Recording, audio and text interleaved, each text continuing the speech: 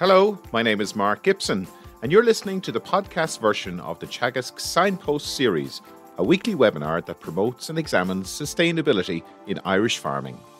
Hello and a very good morning to you. I hope you're keeping safe and well despite the, the damp weather conditions we're having at the moment across the country. And our, our hearts go out to all the farmers that are trying to cope with the uh, difficult weather conditions at the moment, and hopefully things will turn over the next few weeks. Today, we're going to be talking about carbon, and uh, as we all know, carbon is the backbone of life on Earth. Uh, we're all made of carbon, and the soil in uh, on our planet is the second largest active pool of carbon after the oceans. However, its ability to continue to retain the huge amounts of carbon it stores have been weakened uh, in recent years, uh, largely due to unsustainable land management practices and changes in land use. And in this context, uh, it's important that we understand how much carbon is in our soils. And we're, today we're going to hear about the pitfalls of measuring carbon stocks from grassland soils. And we're delighted to be joined by Dr. Owen Fenton, who is a soil hydrologist based in Johnstown Castle. And uh, we're also joined by Cathal Somers, who's going uh, asset advisor in Waterford, who's going to help us uh, with your questions later on. Uh, Owen, uh, Owen, you're very welcome to today's uh, webinar. Thanks, Mark. Good morning, everyone. And good morning, Cathal. I hope all is well down in Waterford today. All good. Thanks, Mark. Good morning. So, Owen, um, in my introduction there, I described you as a soil hydrologist. Could you tell us a little bit about more about the, the work that you're doing there in Johnstown Castle?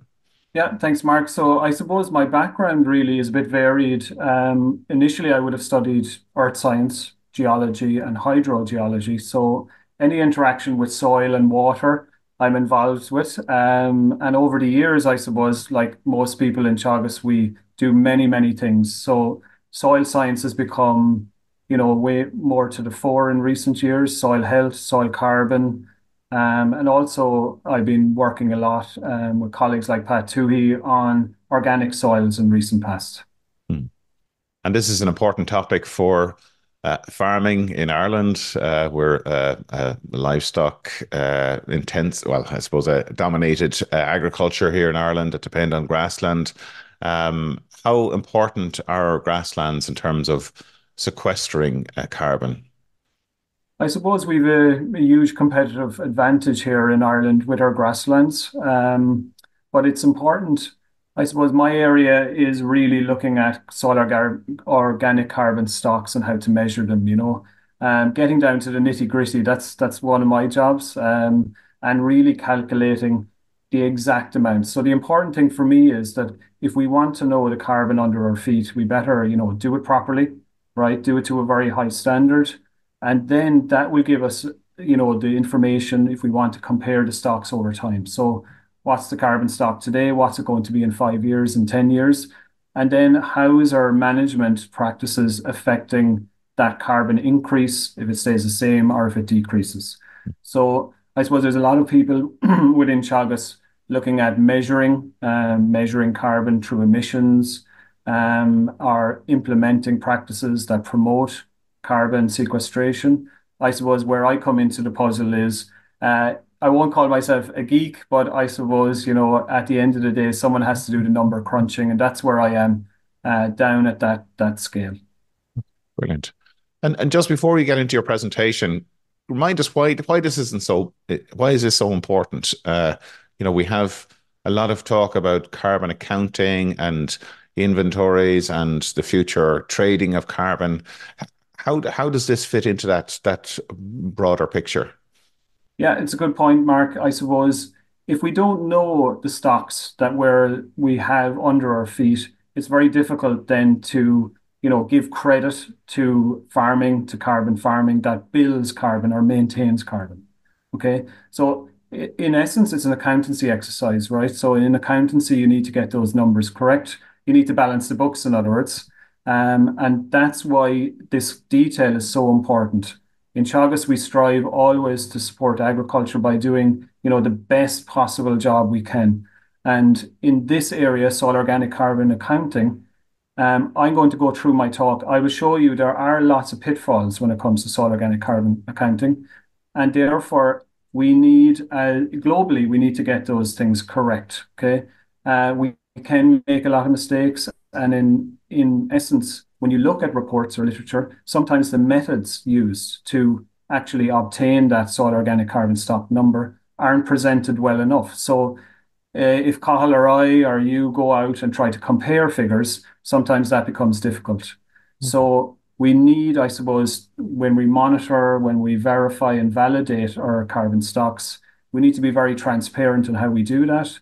And I suppose my talk will show you the steps that we really are doing in Teagasc to ensure that we get it, you know, the gold standard. We we are using that gold standard to calculate soil organic carbon stocks. That's great. Look, that's a really useful context uh, to to get our heads around the importance of this. Um, so, Owen, we'll hand over to you, and we'll take questions afterwards. Thanks very much, Mark. Um, okay, so I've been introduced. My name is Owen Fenton. Um, I suppose I'm a researcher down in Johnstown Castle in Wexford, and the title of my talk is Pitfalls when Measuring Soil Organic Carbon Stocks in Grassland Soils. So here I am, I suppose, the shadow pondering grasslands over the last few years and really thinking about soil organic carbon stocks and how to measure them. Um, this talk really is a product of um, this talk really is a product of work from many, many authors. Uh, we recently published a paper on this, and I would like to acknowledge them uh, during the talk. That would be Giulia Bondi, Conor Bracken, Lilian O'Sullivan, uh, Luis Lopez Sangil, Patrick Tuohy, and Karen Daly. So, by way of introduction, globally, soils and forests store vast amounts of carbon with agricultural ecosystems such as grasslands, peatlands, and woodlands acting as important sinks. Globally, as soils contain three times the amount of carbon held in the atmosphere and four times more carbon than the above ground vegetation, they play an important role in global climate regulation. I'd urge you to go on to the FAO, FAO website where they have a really good uh, calculator where you can look at global soil organic carbon sequestration potential of different soils all around the world. So, what about Ireland? Ireland has the largest proportion of land under grassland in Europe at 56.3%. This compares with an EU average grassland cover of 20.7%. Agricultural grasslands have significant potential to sequester carbon dioxide as part of root biomass and in the soil. Now, to calculate this carbon resource in the soil, we need to use best practice when measuring, reporting, and validating soil organic carbon stocks in grassland soils over time. Now, as part of the talk, I'm going to use an abbreviation for soil organic carbon stocks in places, and that's SOC. Okay. Now, there's sometimes confusion between soil organic matter and soil organic carbon. So just as a starting template here, let's go through those two things. Soil organic matter and soil organic carbon are often confused and mistakenly used interchangeably. So soil organic matter is the fraction of the soil composed of anything that once lived. It includes plants and animals, remains and various states of decomposition, cells and tissues of soil organisms, and substances from plant roots and soil microbes. Now, as you can see by the figure there on the right, soil organic carbon is the fraction of soil organic matter that is carbon. It has a wide range of crucial roles in agriculture. It impacts crop productivity, soil health, the movement of water, which I do an awful lot of research within my kind of hydrology um, area, and removal of contaminants. The soil carbon pool is composed of an organic and an inorganic carbon fraction, and we are interested in carbon accounting in that organic fraction, okay? So the materials derived from the decomposition of plants and animals. And the inorganic carbon part, which is carbonates from geological or parent material sources, are not included in that calculation. So what is the purpose of my talk? Purpose of my talk, I suppose, is to show how soil organic carbon stocks and grassland soils are accurately calculated and to highlight pitfalls in these calculations that can lead to over or indeed underestimations of stocks. And I want to propose a standardized method for grassland soils in Ireland. Now, the talk is not a comment on soil organic carbon stocks of grassland soils, nor does it comment on the sequestration potential of these soils, or indeed the management practices that change these stocks. Okay, so in a way, this, this talk really is about the calculations uh, of that stock. Now, why is it important to get soil organic carbon stock calculations correct? It best reflects how much carbon it is in the soil. So if we want to know that, we need to, you know, do the best possible way of calculating it. It enables us to compare stocks in space and time. So what's the stock today? What's it going to be in five years? And what's it going to be in 10 years? And I want to make sure the method I use today is going to be correct and the same in five years and in 10 years so I can compare those stocks. It's also vital to establish baseline carbon stocks, and therefore we can use this baseline to compare stocks over time. So a lot of text there in the last few slides, so let's have a few pictures. Okay. We're all familiar with how the Irish landscape looks. And on the surface, here's a here's a grassland landscape. And you can see it, it's subdivided up by hedgerows, um, and it's a beautiful green landscape. Now, underneath that can be different soils, different soil types, and indeed, it can get much more complicated. So in the foreground here, we have a mineral soil, which is more standard. You can use standard um, techniques in terms of soil organic carbon. But see the way after that red line in the background of the photograph there, things become more complex. We're moving here from a mineral into an organomineral into an organic soil. And things become a little bit more complicated in the soil organic carbon stock world. How do we investigate soil? Okay, so in Teagasc, what we do in terms of soil mapping, which has gone on now for decades, we would go out to a farm, a field, and we dig what's called a soil profile pit. You can see it here. You get a digger, you dig down to about one meter, you excavate a step at the back there so you, the pedologist can walk into the soil test pit safely and look at the soil in front of them. Okay. And what happens is in soil mapping terms is that the soil profile is described into what we call horizons. Okay. So you go for the topsoil first, and then you go down further into the profile into the subsoil. Now, outside of that, you can't go around digging holes like that all over the landscape. So what happens is you define a modal profile which best represents a soil type. And how you do that is you first go out and you auger the landscape, these thin slices to define where one soil uh, type starts and ends and where another begins and ends again. Okay. And then you do a soil profile pit in each of those soil types around your farm. And you can look at developing a soil map of that farm at very high resolution. But of course, soils are not all the same. Even though you're standing in a field and everything is green around you, underneath your feet, different things can be happening. And that has, of course, consequences for carbon stock. Three photos here. Soils actually are quite beautiful when you look at them in profile.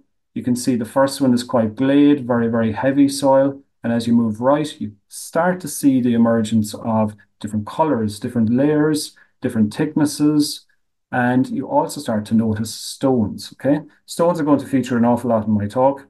Uh, our soils tend to be quite stony. If I move on again, you can see three different types of soils, and the lines that I've drawn there delineate horizons.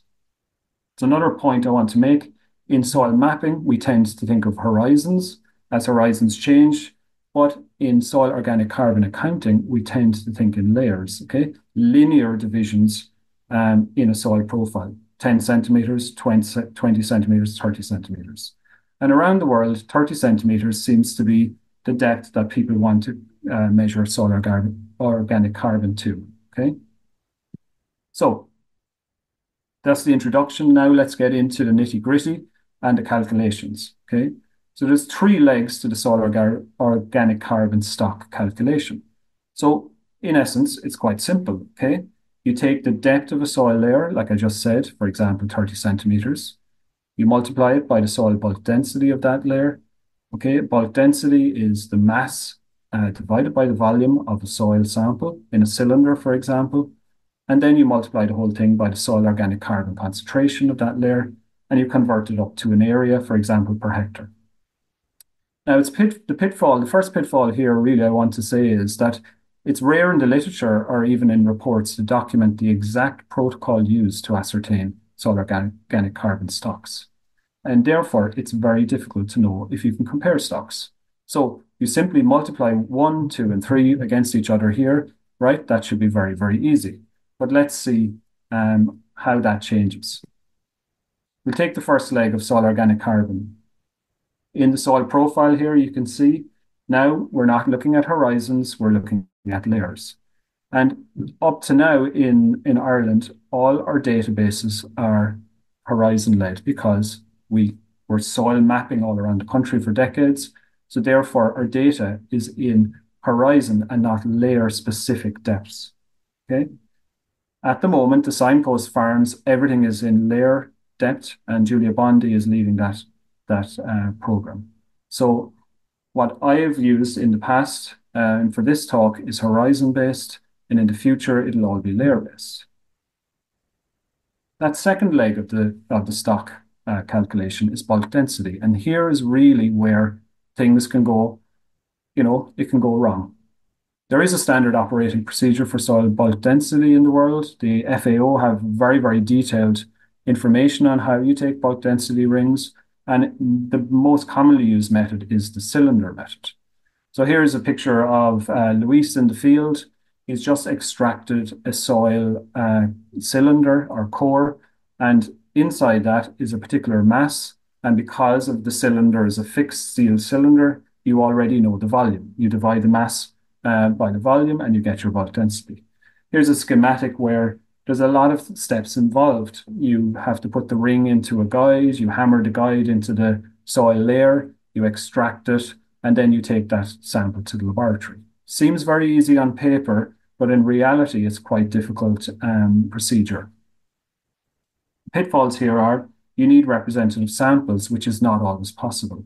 For example, if five people go into the soil uh, profile pit, I take the left, some people take the middle of that layer, and some people take the right side of the layer. Depending on the stone content, we might get different um, different measurements of bulk density. Also, human nature comes in to play when you're in the field and you want to uh, avoid stones. People bias, user bias, will go to areas of the of the layer with less stones to take an easier bulk density sample. So there's a lot of operator bias here at play in the field. Now, when you take your sample from the laboratory, you bring it back, you bring it back, there's a temptation now to avoid the next steps to save money and time. And I'm going to go into that now in a little bit more detail. So how stony is Irish soil? If you look at the volumetric stone content of, soils, there's a, a lovely schematic here from the FAO where you can visually assess a layer immediately in terms of stone content. You can go anywhere from 1% to over 90%. So if you look at the soil profiles that I showed you earlier on, the first one on the left is less than 5% stone content, and you start to increase across, you have greater than 30% over on the right side. Okay, so grassland soils are vastly different in terms of how much stones are in them, and this is very, very important when you're going to look at bulk density. Um, and I'll show you now why.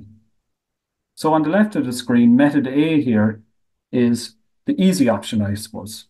Okay, you take your core in the field, you bring it back, you see the core there in the in the silver tray, you put it in the oven, you get the weight of it, and you just uh, basically proceed um, further on that, getting the volume based on the cylinder and the bulk density might have a value of 1.2. But you have completely ignored the stones, and the stones have no carbon in them.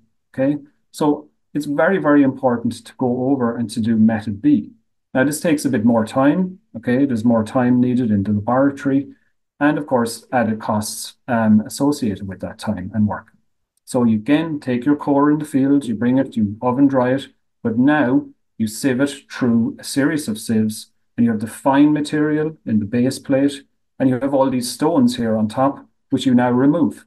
Okay, so these stones are now not going to be in our calculation because there's no carbon in them. I hate showing equations in presentations because everyone goes to sleep, but in essence, the first method is very, very simple. And the second method there shows that there's a correction made based on the stone content inside the cylinder. And I'll show you why that's very important when it comes to the overall soil organic carbon stock calculation. It's also important to say that soil bulk density varies with time and reflecting the impacts of weather and land management. So it's not good practice to just take the bulk density from one year and apply it to the second sampling, third sampling.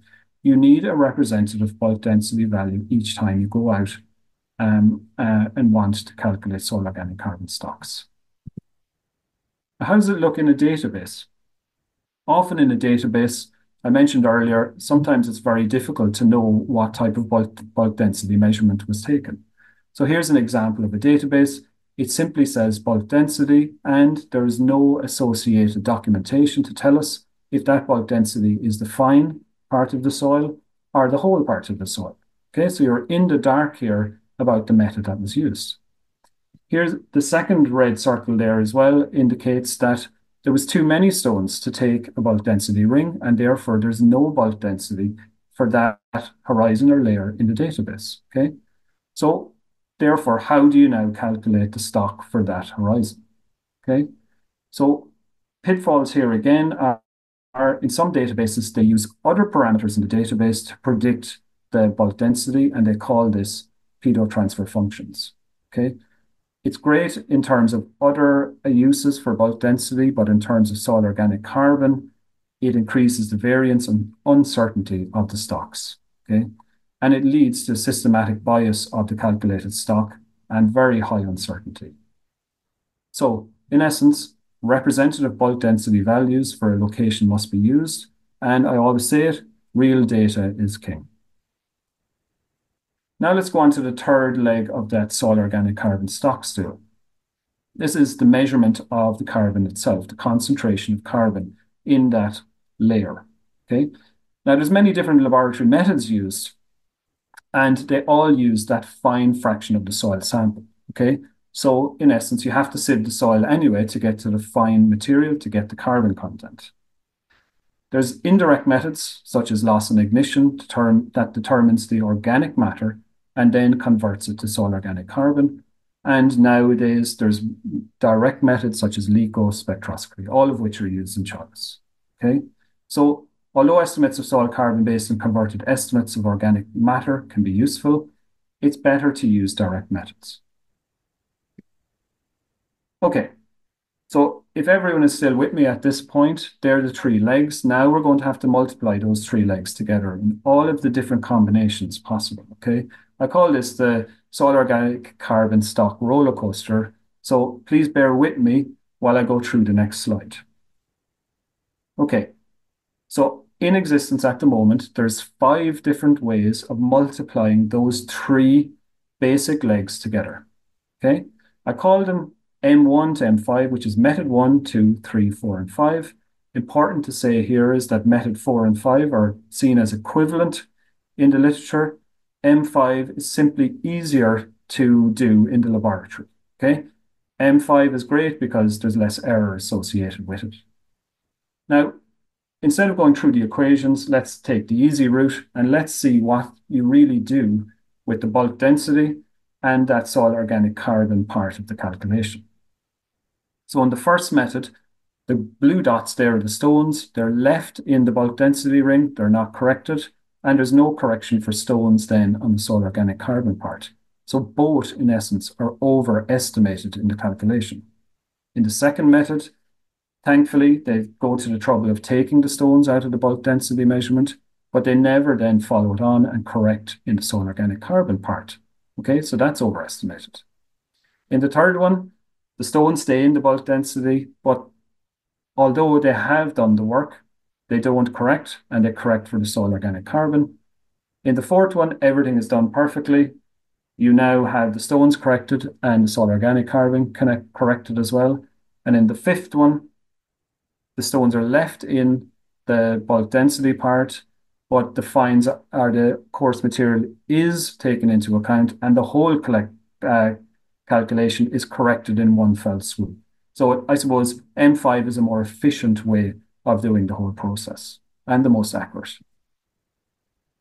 So with all of those pieces of information and the five equations, we needed data to look at grassland soils in Ireland. So we've three databases within Teagasc, I suppose, that we can use, and they have all of the information and data parameters needed to calculate method one, two, three, four, and five. Okay. So they are the Irish Soil Information System, which has 300 reference profiles. It's important to say here, I've only included profiles that have real bulk density. No pedo transfer functions have been included in this data set. The Square dataset brought 30 reference profiles, and the really good Heavy Soils Program database uh, brought in 18 reference profiles. Combined together, it gave us over 1,000 data points. When you put it all together and do the important number crunching associated with this, you get all of the data jumbled into one. Okay, so I'm going to talk you through this figure. On the right side there, it says soil horizon starting at the shallow and working into, into deeper soil horizons in that profile. At the top, you have the volumetric stone content. Remember, I said stones can be less than 5% and all the way up to over 30%. So immediately you can see that we have soil uh, horizons included with very low numbers of stones and very high percentage of stones. On the left side, you have method one, two, three, four, and five as I went through and below is the average soil organic carbon stock found by each one. Okay? In essence, all of this data can be summarized into the following. Methods for measuring bulk density that do not break field-dried samples into fine and coarse material through arduous sieving overestimate soil organic carbon stocks. The volumetric stone content of grassland soils in Ireland is high, volumetric stone contents range from 0%, so there was no stones in some horizons, to 36%. And this was consistent with depth. So shallow to deep, some horizons had stones in them. Overestimation of soil organic stocks can be large where stones are not considered properly. So how large? How large are the stocks overestimated?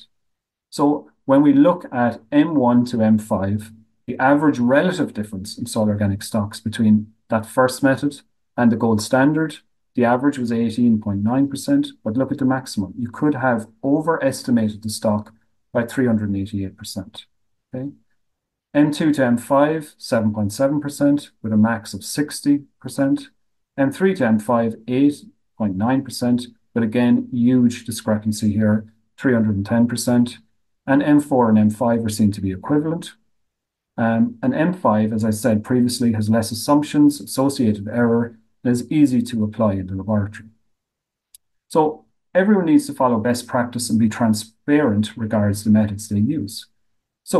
If I use M1 in year one, I use M2 in five years later, M3 in 50, 10 years later, M4 in 15 years later, we will all be comparing you know, different methods of how to get soil organic carbon.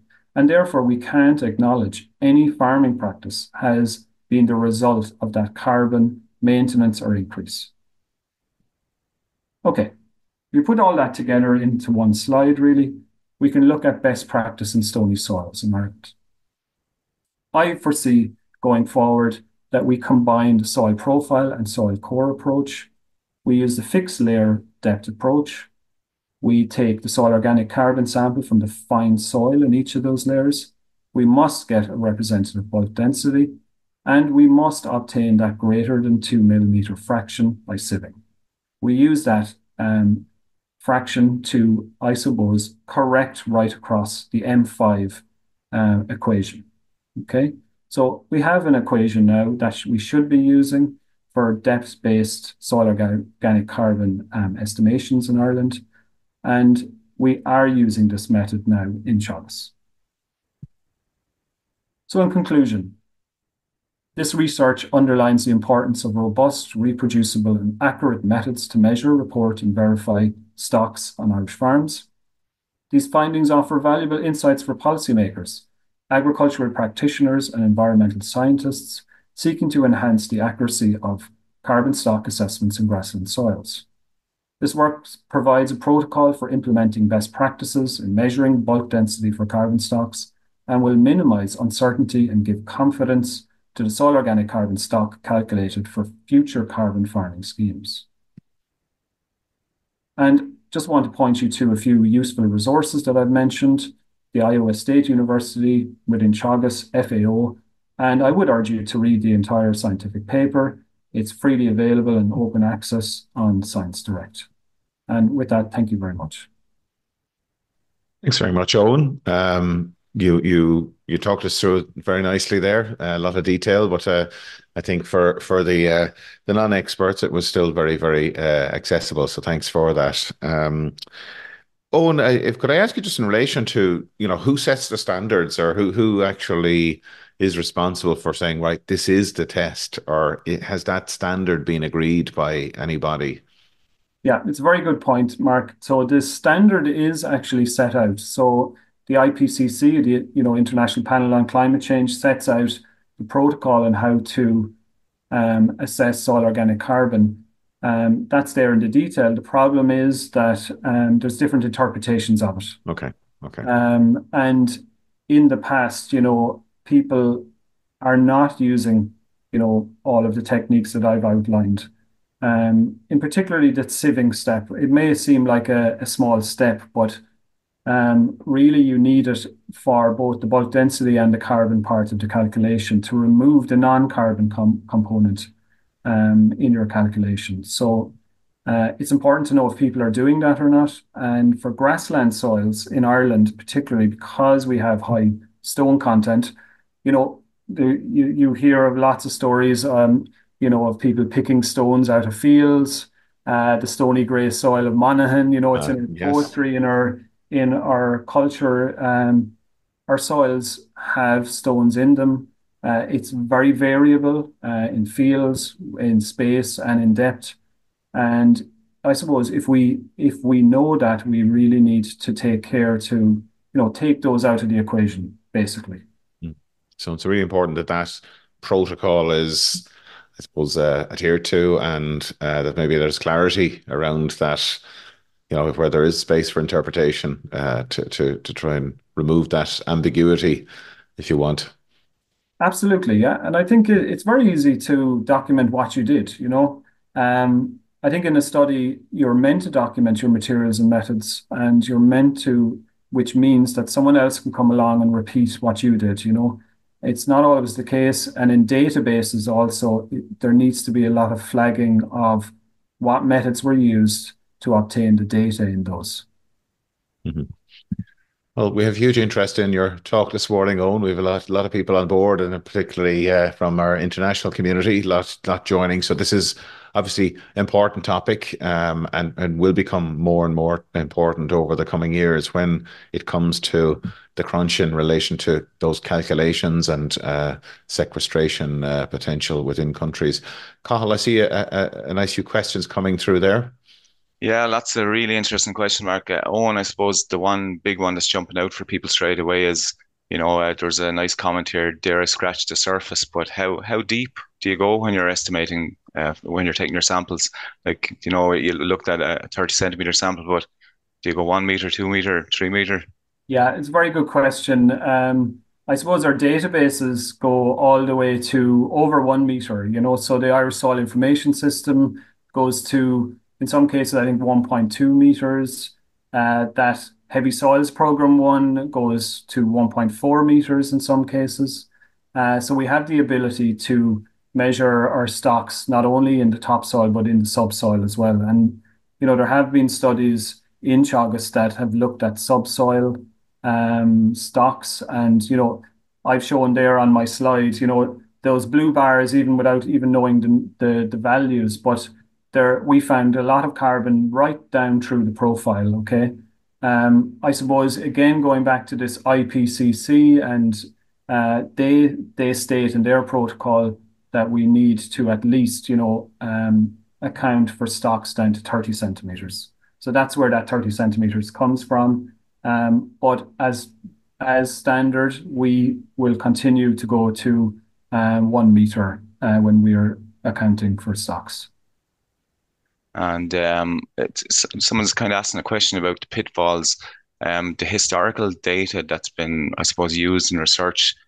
If using the wrong method, I know you're you've said you're using the really the gold standard method now, but does that data have any value for current research? Yeah, it's a very good question. So I suppose the good the good news is that the historic data had everything included. So that's why we were we were able to use the historic data, I suppose, to see how the calculations would, you know, fall with and without that stone correction. Okay. So the The only limitation with the historic data is that it was based on soil mapping, right? So the horizons were were taken. So in in the spreadsheets you see, you know, variable depths. It's not always just this beautiful line to 0 to 10, 10 to 20, 20 to 30 centimeters.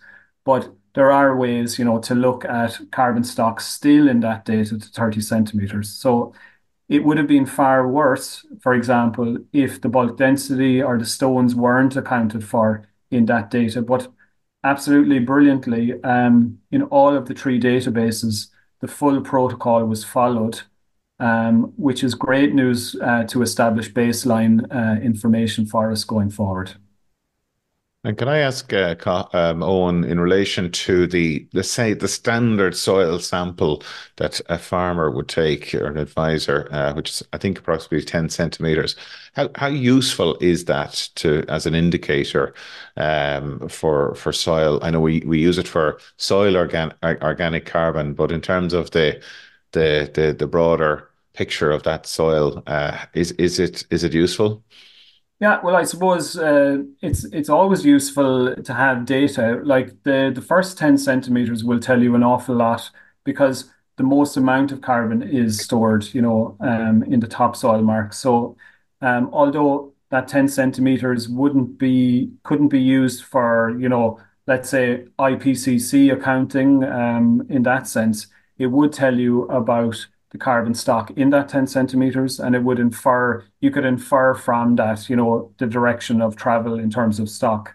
Now the other thing is um, in terms of mineral versus organic soil the organic soil is defined based on a depth you know so of carbon and organic matter content. So there's always ancillary information that would be needed to put that in the correct context in other words. Okay. I have two kind of questions here for you in the one on, but um, so the Department of Agriculture ran a big soil sampling survey over the last couple of years. So that's one thing. Um, it's it's quite manual the type of work that you're taking. A lot of work. Do, do can you use those Department of Agriculture samples, or do we need a national sampling program? Yeah, it's a very good question. So I suppose um, my colleague Giulia Bondi in the Signpost um, program they're doing an unbelievably high resolution coring um, at the moment across all of the farms, including all the major soil types, and they are using the protocol based on a you know fixed layers. So I suppose I'd refer revert to to Giulia there. Um, so you know this has been done at large scale, and the idea there is to repeat, I would imagine, that survey over time, to look at carbon stocks over time. It's key to look at it over time, you know, and carbon doesn't change very quickly. So, you know, you're talking about five to 10 year periods where you will go back and redo this. I suppose the important thing is that when we're looking at, you know, baseline information, that we we do it to this degree, you know, uh, for that purpose. Other other data sets then can be used, you know, as an interim in between that at higher resolution.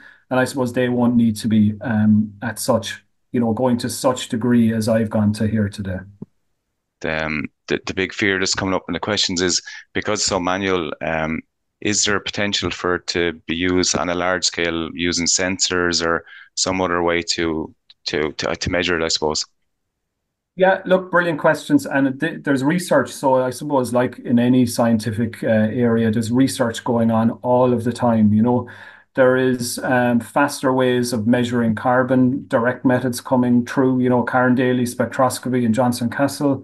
There's robotic um, systems now being deployed all over the world to collect soil samples at a quicker rate. Okay. Um, of course, there's there's real advantages of using those uh, down to 30 centimeters those systems probably won't be able to go deeper than that. Um, in some cases, you know, there's there's different methods emerging. So instead of the depth-based method, which is really revolves around bulk density, there's mass-based approaches, um, which are very, very interesting. Um, and it, it really depends on how fast the technology is catching up. I think I think the question, the person asking the question is completely correct. Like that if we if we want to go to landscape and national scales, we are going to need a combination of methods. You know, we're going to need real data in the ground, we're going to need modeling, we're going to need, um, you know, uh, the NASCO network in Ireland measuring emissions. Um, we need a whole series of tools to capture um, carbon sequestration and carbon stocks at that at those appropriate scales. We've a question.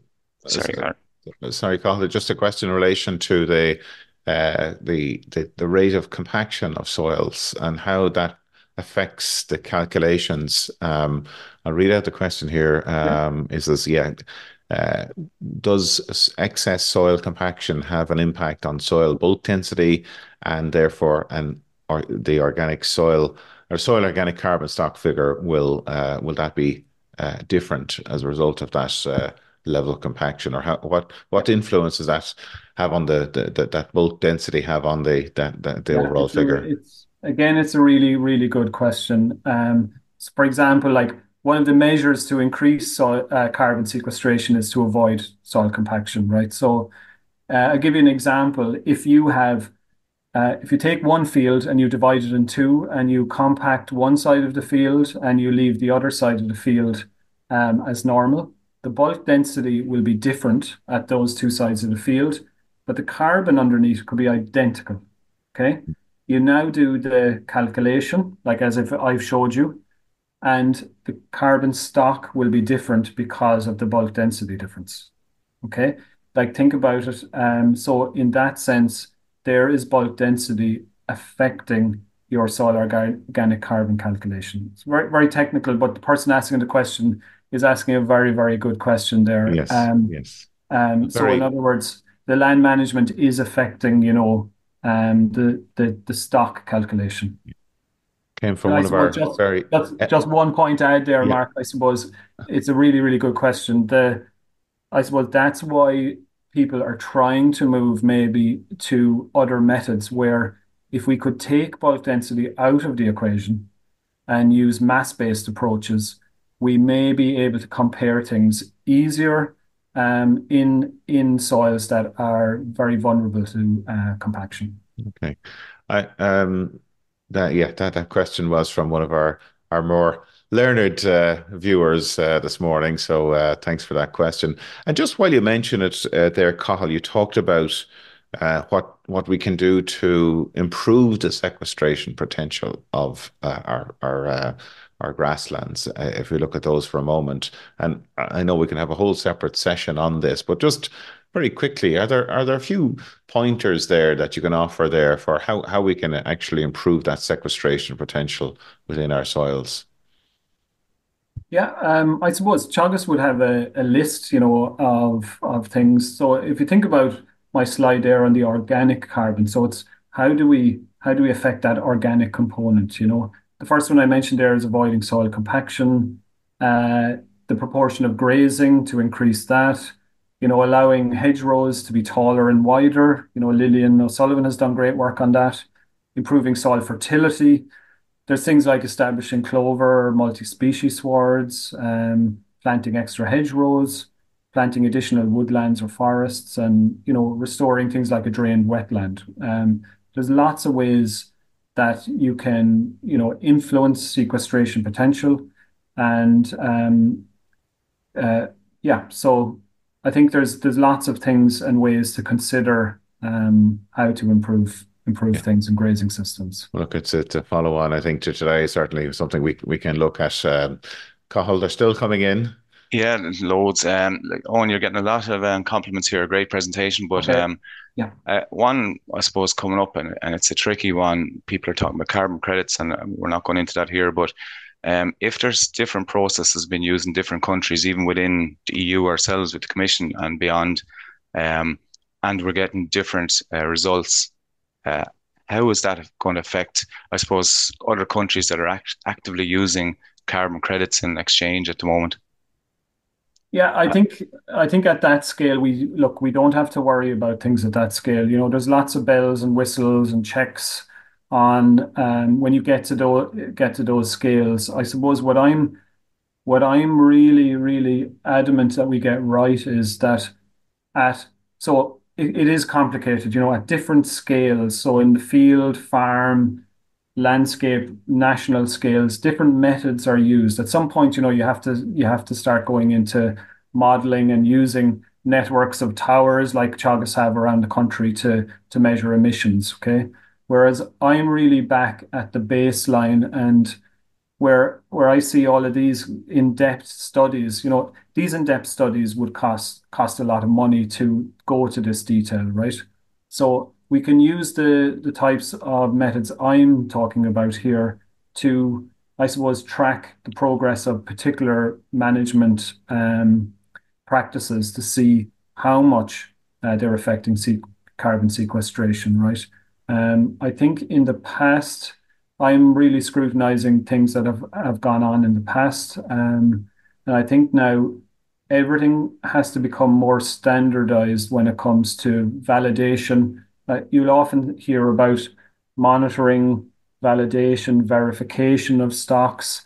So this is where this is where this detail is. You know, if you want to prove something, this is the level of detail you will have to go. And I think there will be a very high level of scrutiny around the world when stocks are being documented to, you know, you're, you're going to have to um, prove that those things are real numbers by presenting the data on using the methods that I've presented.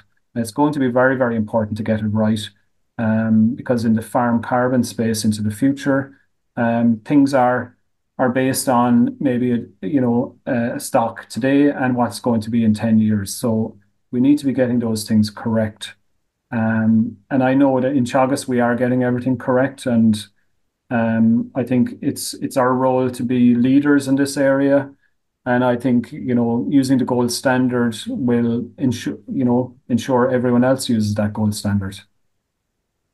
Another really technical question. Um, you mentioned, I, I, suppose, the difficulties in labs for like bulk densities and even the sampling. Um, would you see big errors between different labs, and, and if so, how how are you going to address this? Yeah, and even in the sampling techniques. Yeah, really good, really good um, question. You know what we're what we're always trying to do is get as close we can um, to the actual soil organic carbon stock in the field. Okay, and I I'll say that as a scientist as close as we can. Okay.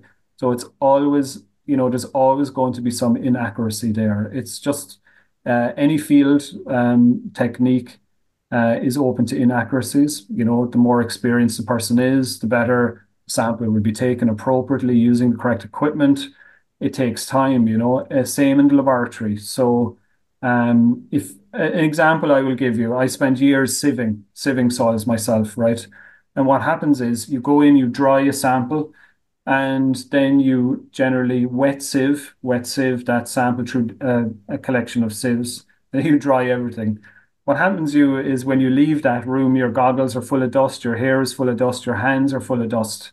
And what you're doing really is you're leaving that laboratory with error, right? The error is actually on you as a person, okay? Mm. And it's not been included in the calculation, okay?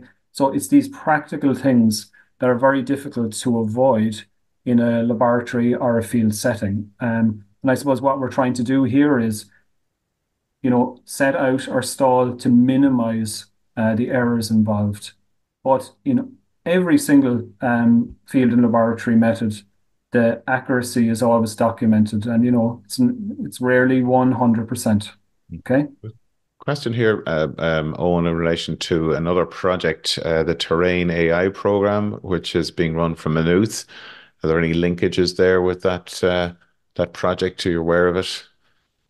Yeah, so I suppose all of the projects, you know, in this space are linked somehow um, because we need to be conducting uniform protocols. So, in other words, what we've done across the projects, be it the signpost, be it Terrain AI, etc., is that you know, the way publications happen is they they come out about two years after the work or a year after the work. So we are using, you know, a consistent protocol when it comes to measuring solar carbon stocks wherever we're doing fieldwork.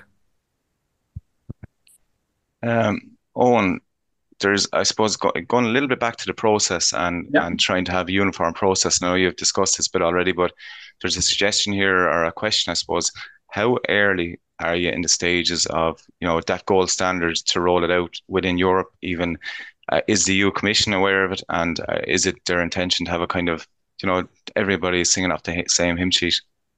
Yeah, I suppose. Yeah, it's it's a difficult one to answer. Like for me, there is a standard gold protocol in place. Yeah, it's um so the IPCC have very clear um, guidelines, but it's always unclear whether that's been followed to the letter of the law. Okay. And my, my point here is that I've shown the consequences of not following it to the letter of the law. And in some cases, by taking shortcuts, you can overestimate um, stocks. Okay. And in particular, in areas with grassland soils that are very stony, we have very stony soils. So we really have to, you know, do this uh, correctly, which we are. Um, like there have been studies in Germany looking at grassland soils, and in Denmark, um, we've they they've all they've all come up with similar results to us, but um, we certainly have higher stoniness in our soils, which means we're more vulnerable to inaccuracies. Okay, so those laboratory steps are very very important um, when we were considering the bulk density and soil organic carbon. Um, the and I suppose so. What I can say is I'm not worried about the gold standard being in, existence. I'm saying is that people aren't transparent enough when they're documenting what they've done, and then that, you know, that undermines, I suppose, then um, when you want to compare stocks from one study to the other, sometimes it's hard to know if, you know, was M1 used, M2, M3, M4, M5 in those two different studies. So we have to get better at documenting what was done. Okay. Um, and that's at all levels. So I'm, you know, to repeat again, I'm not worried that the, st- the gold standard doesn't exist. It exists, but whether it's been used um, to that absolute nth degree um, all the time is up is up um, for grabs. You know. Is there other countries doing similar, or um, dare I say, uh, you have very specific data is is it being put into models? Yeah, so this data wouldn't be put into models yet. I suppose they're the next steps that that are going to be used. Um, like at the moment, I think with the signpost series and the national campaign, I think that's the data that's going to be used at, at larger scale for Ireland. You know, uh, that follows all of the necessary protocols, uh, highest standards, and I think that covers you know much more I suppose, soil types and land management types, um, which is going to be really, really important uh, going forward.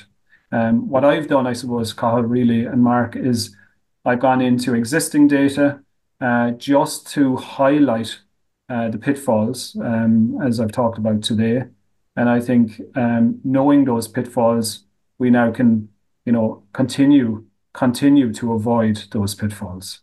We have a question here, Owen, and I think it's good good opportunity just to clarify something. The question is: Does our relative stoniness in Ireland overall imply that we sequester less soil organic carbon uh, per hectare than our European neighbours? And I think that's not what we're saying. Is that is no, that fair? And and I think that would be, uh, you know, it's not correct to say that. So, in other words remember what I'm saying is that all our calculations heretofore have removed the stoniness um, in in our calculations. So, you know, we have been using the gold standard, um, and therefore the figures that are being presented in Ireland by Teagasc are correct. Okay. Um, it's my worry really is in in studies that typically uh, do not use this this golden standard method for some reason. You know, you may they may choose not to save the soil to save time and save money.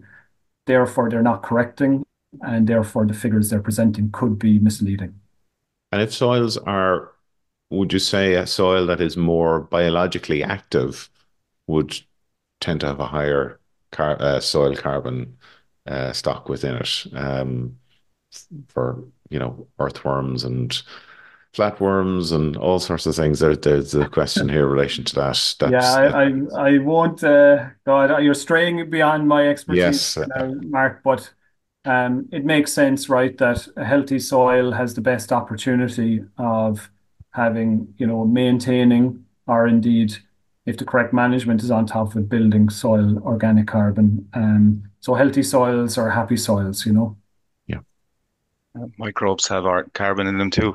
Um, yes, absolutely. Oh, I suppose uh, uh, an interesting one. So uh, imagine if you did do a national sampling program as a baseline, how how soon would you suggest going back in again? Yeah, so it's a good, very, very good question. Um, I think 10 years, there was a European study there um, done around 2015 where they looked at changes, you know, in national databases. And they were kind of really indicating a 10 year period. Um, it's a slow process, right? So um, that 10 years seems to be um, a general a general figure. Of course, depending on the soil type, that might change slightly. But I think an average of 10 years could be a good a good uh, number there, Colin. Another real technical question for you again. So on the likes of sampling and in the labs bulk densities in, in the rings, uh, is is it accounted for air pockets and, and things like roots and things like that when you're when you're doing your analysis? Yeah, really good question. Very technical question again from someone. So in a, in essence, anything that is considered coarse material and not living should be extracted from your your calculation. So for example, dead roots as well, for example, um, um, anything over that two mil fraction. It's just getting very technical for the talk, but the reason for that two millimeter is uh, to extract or take away from your calculation all of those coarse fragments, which in Ireland really means stones um, from the calculation. Really good question there and any opportunity to get a water question, but I see it in your presentation. Um, yeah. how, how does soil organic carbon impact the movement of water? Yeah, it's a very good, very good question. So again, soil organic matter is like glue, right? So it glues the the structure of the soil together. Um, you know, if you, in essence, for water transport, um, soil built up of sand, silt, clay, organic matter, and the, combination of that creates a structure. A soil with a, very good structure allows water to travel, you know, nicely in free draining soils, for example. Uh, the higher clay or silt contents in that soil um, changes the structure, becomes more massive, and then you get poorly drained soils, and then that prevents, you know, or impedes water uh, transport freely in that soil. So, you know, think of it, think of it, soil organic matter as glue. That's good advice. Um, we're just coming up on the end of our session now, Owen, and um, I think we've gotten through most of the questions as well. Um, thank you so much for for taking us through that very, very, uh, uh, as I said, in an accessible way. Uh, the presentation will be available afterwards for people who want to go through the the figures and the finer finer details. Um, any any events coming up uh, in relation to this, Owen? Uh, I know there's sometimes conferences and walks or relating to these types of topics. Um, any do you have anything planned? Um, not not in particular in this one. I suppose I would urge people next week. Um, if I could flag my colleague uh, Pat he is giving a talk on management of organic soils, and I think the the one of my slides there, I suppose, had you know the standard mineral area, and then you get into the more complex um, organic area. We're doing a huge amount of work, um, again with Pat, but with Giulia Bondi, with Luis um, and colleagues on like when you go to take a bulk density sample in organic soil, things are a lot wetter, for example, so you might need to use a little bit of different techniques. Didn't really get into that today, but I'd say watch that space. Pat's talk next week will, I think, will be a good extension of my talk, and we will be having events and workshops in this space in the future, Mark. Great. Thanks. Thanks, Owen. Uh, Cathal, thanks so much for helping with the questions today. And uh, just to let you know also that we have a, a webinar, a separate webinar taking place on the 25th of April. And you're wondering, what has this got to do with sustainable agriculture? Well, of course, it has everything to do with sustainable agriculture because we are, uh, farmers are looking to diversify and, uh, look at their operations over the next number of years. So on the 25th of April, I'll be joined by Barry Caslin, Teresa Roach, Nick Cotter, and Noel Casey um, who are uh, are uh, entrepreneurs and are going to share their stories of what uh, their journeys, I suppose, through to, to the stage they're at within their businesses. So we, we'd love if you could join us for that. Uh, you can just look at the Teagasc website and that's available on, on uh, to, to register there on the 25th uh, at 11 a.m. So thanks very much. You've uh, given a good flag for Pat Tuohy. Uh, you're, you're, you're almost like his warm-up act for next week. So I'm sure Pat would love, love, love to hear you be described like that.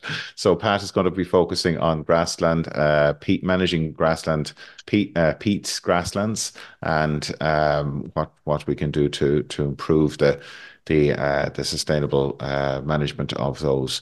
So until next Friday, thanks again for joining us, and uh, we hope you enjoy the weekend.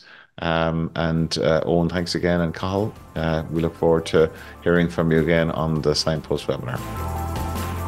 You've been listening to the podcast version of the Teagasc Signpost series, the weekly webinar that promotes and examines sustainability in Irish farming. Don't forget to join us live every Friday morning for our latest webinar. For more, visit teagasc.ie. And you can also rate, review, and subscribe to the Signpost series on Apple Podcasts, Spotify, or wherever you get your podcasts from. I'm Mark Gibson, and thanks for listening.